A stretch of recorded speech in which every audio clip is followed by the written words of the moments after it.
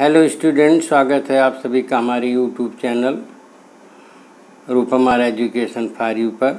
बच्चों, आपके flamingo book का पार्ट फ़र्स्ट मैंने पढ़ा दिया था और आज हम लोग पार्ट सेकंड पढ़ेंगे।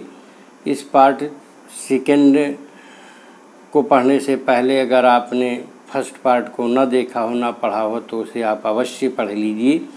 तो आइए हम सेकंड पार्ट स्टार्ट करते हैं। तो बच्चों सेकंड पार्ट आपका शुरू होता है माई लास्ट फ्रेंच लेसन से।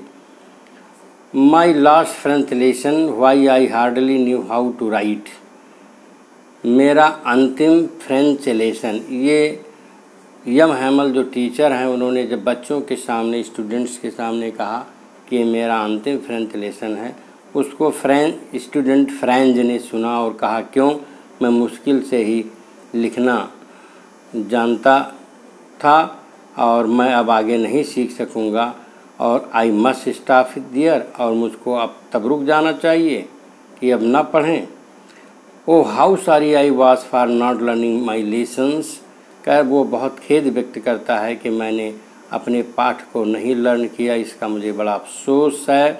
For seeking birds eggs or going sliding the Saar कि मैं पक्षियों के पक्षियों के अंडे खोजने और सार पर स्लाइड करने के लिए जाने की वजह से अपने पाठ को नहीं सीख पाया। My books that had seemed such a nuisance a while ago so heavy to carry my grammar and my history of the saints were old friends now that I could not give up और कहता है आगे कि मेरी पुस्तकें, जो कि मुझे बहुत नूशंस माने कष्टदायक प्रतीत होती थी कुछ समय पहले बहुत भारी प्रतीत होती थी ले चलने में।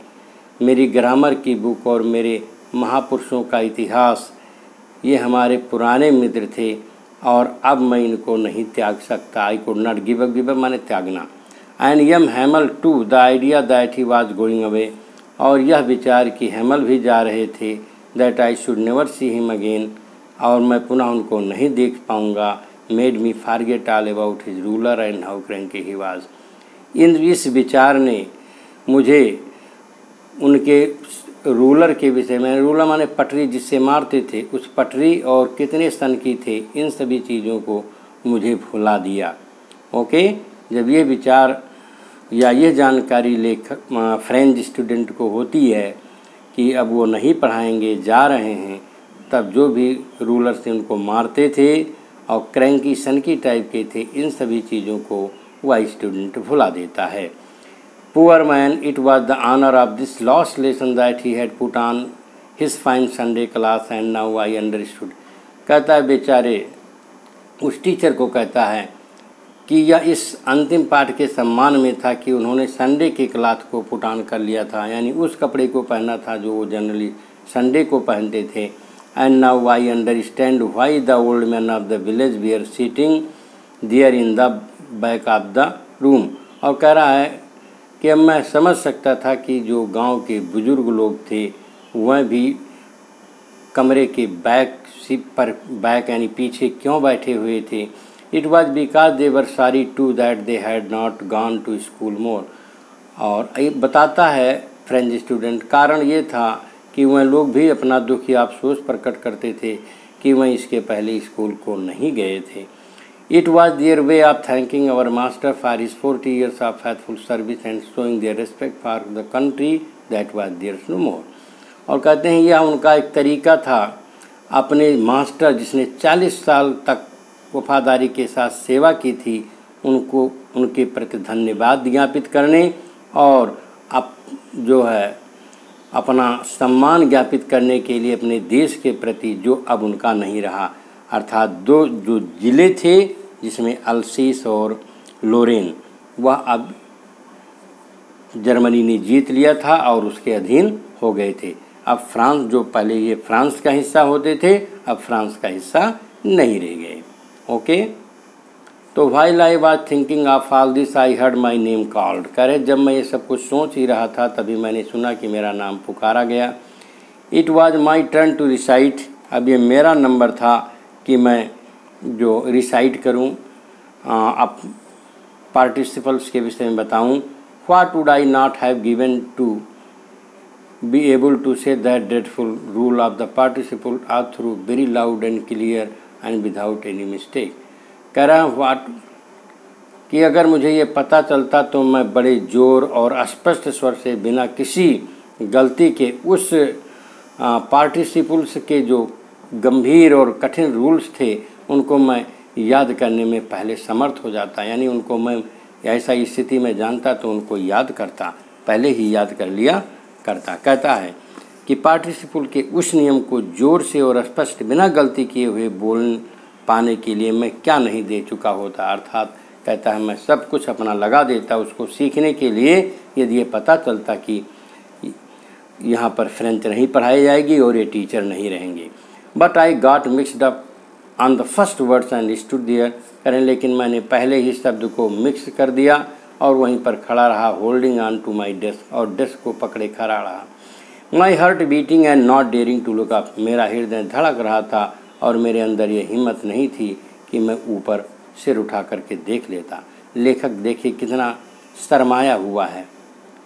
I heard M Hamel to say me I wouldn't scold you little friend you must feel bad enough कह रहे हैं कि यम हेमल कहते हैं मैंने कहते, एम लेखक कहता है कि यम हेमल को मैंने कहती ही सुना कि मैं तुमको डांटूँगा नहीं मेरे छोटे फ्रेंड, तुम्हें खुद बुरा, बहुत काफ़ी बुरा लग रहा होगा।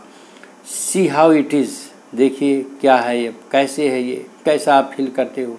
Every day we have said to ourselves bah I have plenty of time प्रत्येक दिन हम लोग अब खुद से यही कहते थे, वाह का मतलब असहमति सूचक शब्द है बच्चों, कि मेरे पास पर्याप्त समय है। प्लेंटी माने परचुर परचुर माने बहुत अधिक। मेरे पास बहुत अधिक समय है। I will learn it tomorrow और कल सीख लेंगे। यही बात हम लोग कहते थे।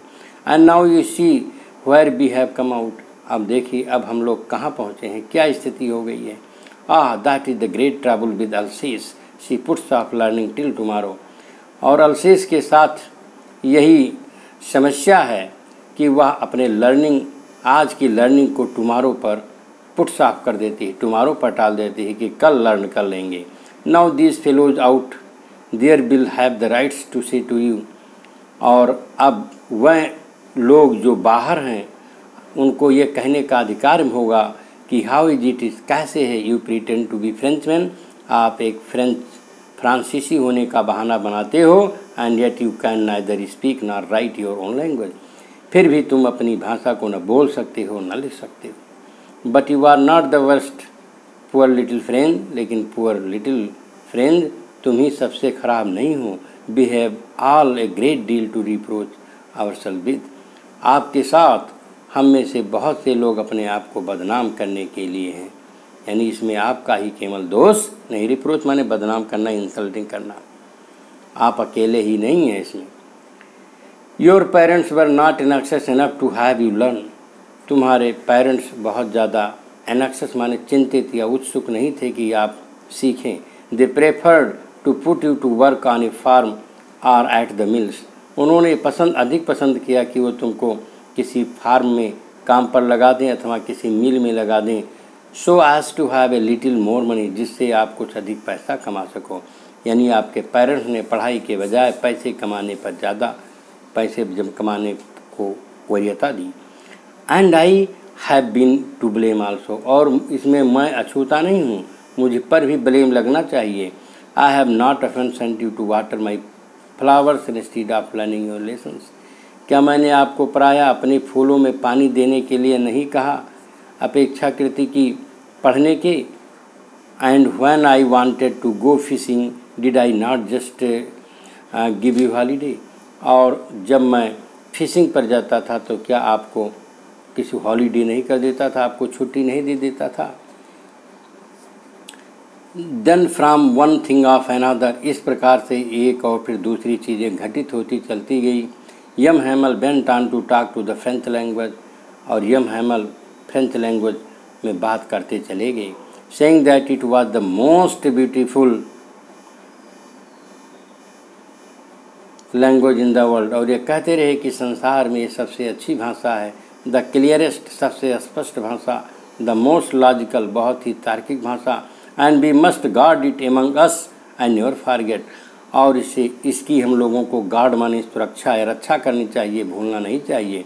Because when people are in slave as long as they hold fast to their language it is as if they had the key to their prison और कहते हैं, क्योंकि जब लोग इंसलेट माने दास बना लिए जाते हैं, और और तब तक भी वह अपने लैंग्वेज में होल्ड बनाए रखते हैं, अपनी भाषा में पकड़ बनाए रखते हैं तो ये उनके पास, उस जेल से निकल जाने की कुंजी उनके पास होती है। अर्थात भाषा व कुंजी होती है जिससे हम गुलामी से निकल सकते हैं। Then he open a grammar and read us our lesson और इसके बाद उन्होंने ग्रामर की पुस्तक खोली और मुझको अपना पाठ पढ़ाया। I was amaze to see how well I understood it और मुझे आश्चर्य है कि मैं कितनी अच्छे से उसको समझ सकता था उस दिन।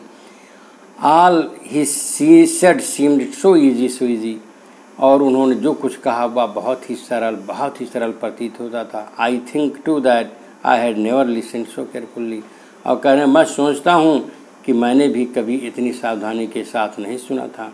That he had never explain everything with so much fashions और उन्होंने कभी भी इतने अधिक धैर्य के साथ किसी चीज़ का एक्सप्लेन भी नहीं किया था। It seemed almost as if the as if the poor man wanted to give us all he knew before going away और ऐसा प्रतीत होता था कि जैसे वह पुअर मैन जाने से पहले मुझे सब कुछ दे देना चाहता था and to put it all into our heads at one stroke और एक ही स्ट्रोक में एक ही चांस में एक ही प्रहार में एक ही आम, क्लास में वह मुझे सब सब कुछ मेरे माइंड में बैठा देना चाहता था। After the grammar he had a lesson lesson in writing grammar के बाद राइटिंग की एक लेसन उन्होंने ली। That day M Hamel had new copies for us written in beautiful round hand उस दिन यम हैमल हमारे लिए नई कापी लाए थे। और बहुत ही सुंदर हैंड में हैंड राइटिंग में उसमें लिखा था। क्या लिखा था? France Alsace France Alsace. ये उस कापी में लिखा हुआ था। They looked like little flags floating every फायर इन द क्लासरूम और प्रत्येक जगह एक छो, आ, छोटे से पंखे फ्लैग माने झंडे की तरह हुए लहराते हुए पूरे क्लासरूम में दिखते थे। Hung from the rod at the top our desk हमारे डेस्क के टॉप पर लगी रॉड में वे झंडे के समान लटकते हुए प्रतीत होते थे। You are to have seen how everyone set to work आप समस्त देख करके, देख सकते थे कि कैसे हर कोई व्यक्ति अपने कार्य में सेट था, लगा था। कितनी क्वाइट इट वाज कितना शांति था कमरा। The only sound was the scratching of the pens over the paper paper के ऊपर पेन के स्क्रेच करने का, चलाने का ही आवाज़ होती थी। Once some beetles flew in but nobody paid any attention to them एक बार आ, कुछ भौरे बीटल्स एक प्रकार का कीड़ा है काला काला होता है बड़ा सा कमरे में उड़कर आया लेकिन कोई उन किसी ने उन पर ध्यान नहीं दिया। Not even the littlest one जो छोटे बच्चे बिल्कुल चंचल होते हैं उन्होंने भी ध्यान नहीं दिया। Who worked right in tracing their fish hooks जो अपना फ़िश हुक्स यानी मछली को पकड़ने वाला हुक्स बना रहे थे उन लोगों ने भी उस पर ध्यान नहीं दिया। As if that was French too और ऐसा इस तरह वह कर रहे थे, जैसे मानो वह भी फ्रेंच का हो। On the roof the pigeons cooed very low छतों के ऊपर कबूतर बहुत धीरे धीरे कू कू करते थे। And I thought to myself और फ्रेंच स्टूडेंट कहता है मैंने खुद से सोचा will they make them sing in German even the pigeons क्या जर्मन्स के लोग कबूतरों को भी जर्मन्स में आवाज़ करने को कहेंगे, क्या उनसे जर्मन में आवाज़ कराएँगे?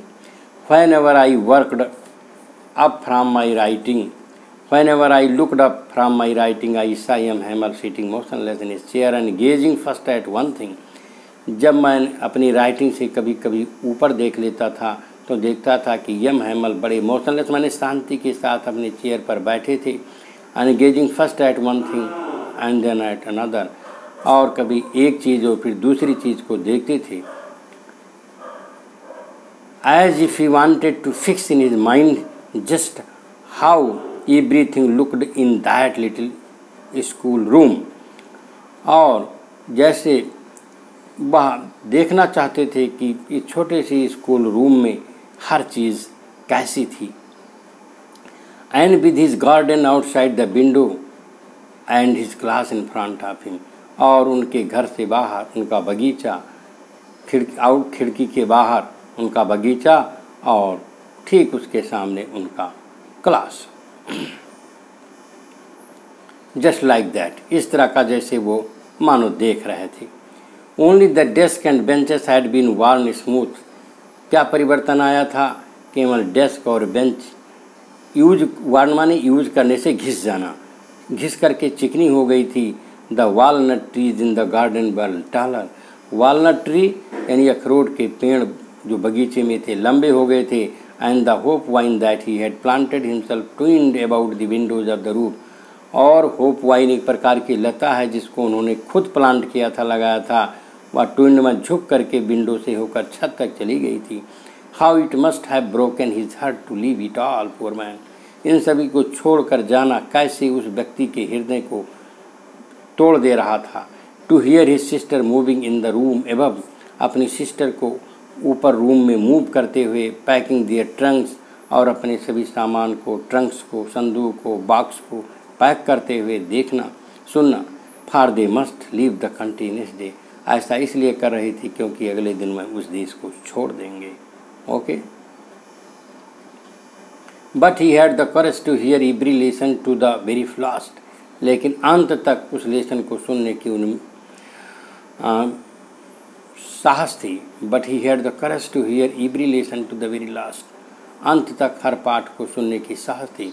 After the writing he had a lesson in history writing के बाद उन्होंने हिस्ट्री में भी एक लेसन लिया। And then the baby chanted their बा बी वी बू वी इस प्रकार से बच्चों ने अपनी इन शब्दों, इन अक्षरों का उच्चारण किया। जैसे हम लोग कहते हैं काका की की कू या या यू ठीक, okay. Down there at the back of the room old Hauser had put on his spectacles and holding his primer in in both hands और नीचे वहाँ कमरे के बैक में ओल्ड हाउजर भी अपना चश्मा धारण किए हुए, अपनी प्राइमर पुस्तक को दोनों हाथ से पकड़े हुए अक्षरों को स्पेल करते थे, उच्चारण करते थे अपने साथ में। ये कुर्सी that he too was crying आप देख सकते हैं, वह भी चिल्ला रहे थे। वाई स्ट्रम्बल्ड विद इमोशन जैसे इमोशन से उनकी आवाज़ कांपती हो and it was so funny to hear him और उनको सुनना बड़ा ही फनी था। That we all wanted to laugh and cry कि हम लोग सब हंसना और चिल्लाना चाहते थे। यानी उनकी आवाज़ में जैसे रोदन छिपा हुआ था, ओ how will oh how well I remember it कहते मैं, मुझे कितना अच्छे से याद है दैट लास्ट लेसन ये लेखक कहता है फ्रेंच स्टूडेंट की मुझे अंतिम लेसन कितनी अच्छे से याद है। Okay?